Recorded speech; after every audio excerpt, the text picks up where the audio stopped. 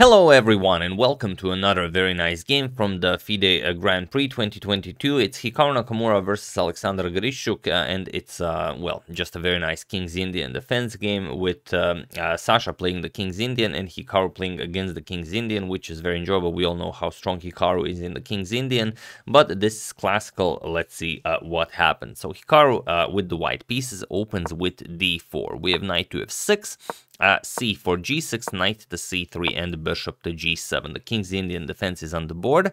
Uh, we have e4, uh, the no normal stuff here. We have d6, bishop to e2, and uh, Grischuk castles. And here Hikaru plays bishop to e3. Uh, this is the so-called uh, Averbakh system, maybe paying a tribute to the to the old grandmaster who just turned 100, but also maybe it's just his favorite line, so maybe it has nothing to do with that. So here we have e5, standard reply, asking white, uh, are you maybe interested in a nice queen trade? And the white, of course, grabs more space with d5. Uh, we have knight to a6 by Grischuk, and now Hikaru just strikes with h4.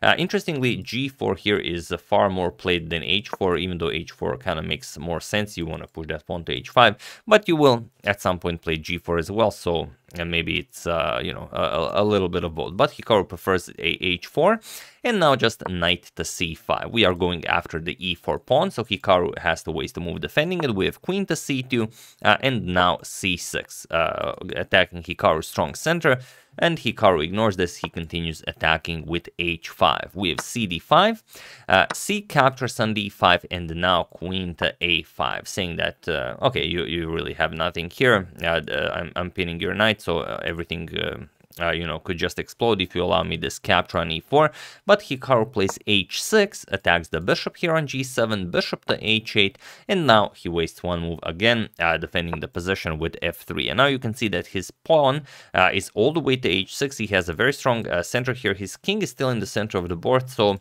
uh, you know, really, really uh, exciting stuff happening here. Uh, bishop to d7, uh, and now rook to b1. Here, Hikaru is preparing b4 to win material here, uh, and knight to a4 now. Attacking the pinned piece, we have queen to d2, and now knight captures on c3. Hikaru captures with the b pawn, we have b captures on c3. Now the b7 pawn is hanging, and uh, Grischuk defends it with queen to c7. And up until this point, this is known territory. There's even a game from 2019 Bundesliga between Pavel Ilyanov and um, uh, Demchenko, uh, where the uh, game continued with c4, and that game ended in a draw. But here we have uh, g4 by Hikaru, and it is now as of move 17 that we have a completely new game. And um, okay, g4 seems very aggressive, but it's not like you can continue attacking. g5, the knight moves, and that's it. You don't have any uh, any more pawns to push. So how will this continue? Well, bishop to c8 first uh, adding a defender here, so now the queen can move, but maybe also you're uh, planning to play b6. So knight to h3 by Hikaru, knight to d7, and now knight to f2, bringing the knight to d3. We have knight to f6, uh, sorry, not knight, bishop to f6, uh, maybe uh, trying to get Hikaru to push that pawn all the way to g5, but Hikaru just castles here. So it seemed like Hikaru was attacking the king side all along, but uh, now he castles king side, and well, what will happen now? The center is pretty much closed uh, unless we see something like c4, c5. Here it's uh, uh, you know about to remain about to remain closed. And will the game shift to the queen side or will there be some sort of a breakthrough on the king side? So here we have bishop back to e7 king to h2 by Hikaru, and now knight to c5. Uh, we have knight to d3, offering a trade of knights, and just b6, uh, strengthening the knight here. But Hikaru trades on c5, knight captures, b captures, and now uh, he plays f4. And now, interestingly, even though uh, Hikaru also castles on the king side, uh, there doesn't seem to be a good way to prevent um, uh, white from advancing those pawns. Of course, um, Grischuk captures on f4, we have bishop captures and bishop back to d7, again connecting the rooks, but now c4. And here, uh, we have rook 8 to b8. Uh, and the rook 8 to b8, uh, just uh, claiming the b file for your own rook, um, uh, countering white's rook on b1 is very impressive, uh, but uh, uh Grischuk uh, really doesn't mind if Hikaru just puts the queen on c3, so maybe instead bishop to f6 is a little bit safer, uh, but uh, Sasha, of course, knows what he's doing, uh, and he's uh, it's only move 26. I believe he's now below 10 minutes, probably. I know he was extremely low on the clock here because Hikaru played like the first 15 moves with. Um, more than an hour and a half on the clock, so he had a positive time, uh, whereas Grischuk spent uh, more than an hour. So, uh, as usual, Sasha do is doing his thing. Uh, we have queen to c3. Hikaru, of course, says, all right, I'm threatening checkmate, and uh, of course, f6. We are preventing this. Rook to b3, saying, okay, I'm going to play rook to b1, double up here, and if you capture, I'm going to um, uh, connect my pawn structure here.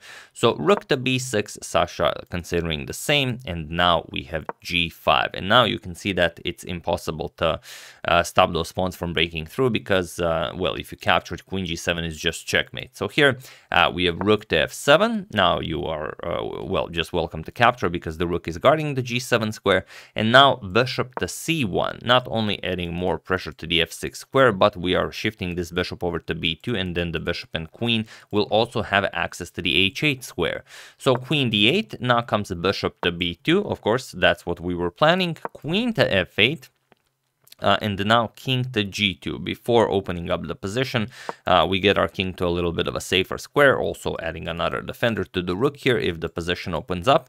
So bishop to d8 uh, and now comes queen to f3 uh, so what can you play here?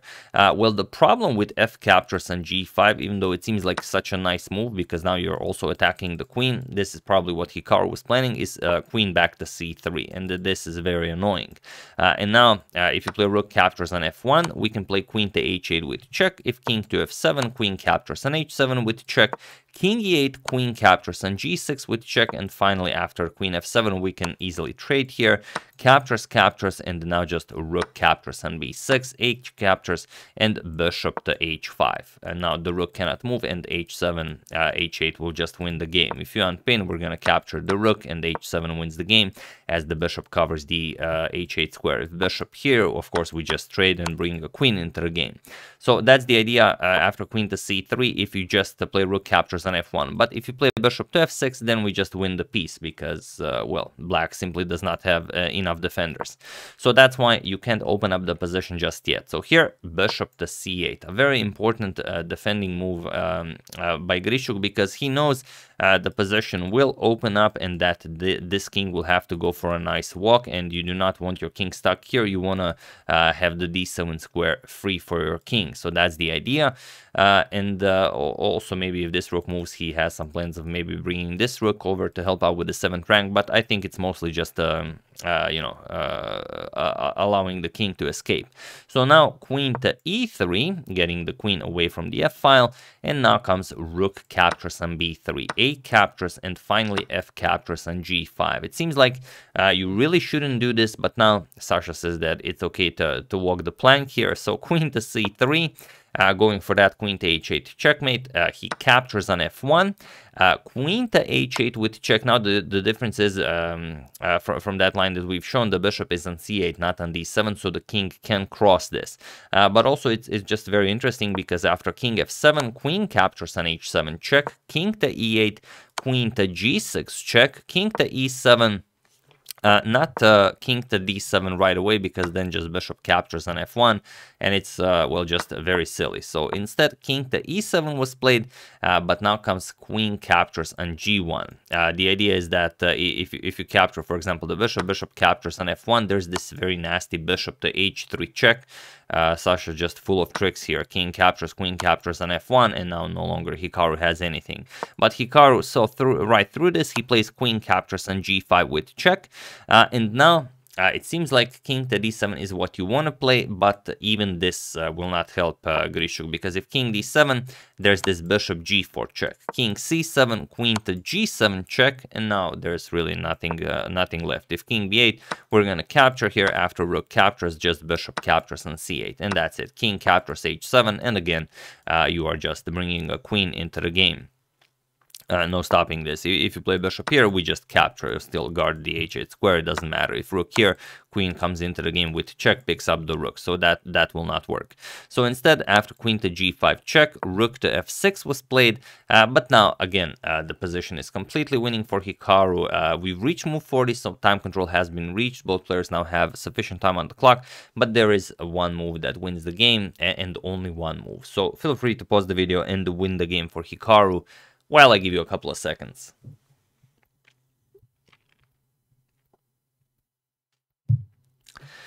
So uh, for those of you who were able to do it, congratulations on uh, spotting this brilliancy. And for those of you who just want to enjoy the show, it is king.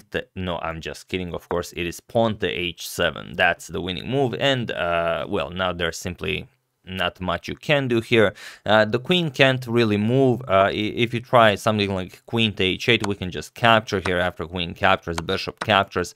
Uh, the h8 square will always be uh, ready for our uh, for our pawn to become a queen. So here, uh, Grischuk finally played king to d7, but now Hikaru just played queen to g8, as again, this is the only winning move, and it was in this position on move 42 that Alexander Grischuk resigned the game, as there is nothing more to be done here. Uh, so really, really impressive game by Hikaru so far in the tournament. Uh, it's still unknown who will win this uh, uh, this uh, group uh, as he has the same amount of point as, points as Esipenko and tomorrow he's playing Esipenko. Esipenko will have the white piece, Hikaru will have black. So we'll see how that um, turns out, but should be should be very interesting. So here, there's really nothing after rook to f2 check. You have this one check and that's it. No more moves for black. Whatever you do, well, we can just play h8 queen or capture the queen, then h8 queen. Everything is winning. so of course, uh, Grischuk resigned. Uh, so yeah, that's the game. Another very impressive victory by Hikaru, who not only plays uh, a great King's Indian, but also, as you've seen, uh, plays great against the King's Indian uh, defense. Uh, so yeah, I uh, hope you guys enjoyed it once again. I would like to thank uh, the Hoodie Knight, uh, God for making me an atheist, John Anderson, sorry about that in this position, feel free to pause the video, and Jonathan Kemp for your contribution to my channel. Thank you a lot, I really appreciate it. As usual, you can check two of my previous videos here. Thank you all for watching, and I will see you soon, continuing the coverage of the FIDE Grand Prix until it ends.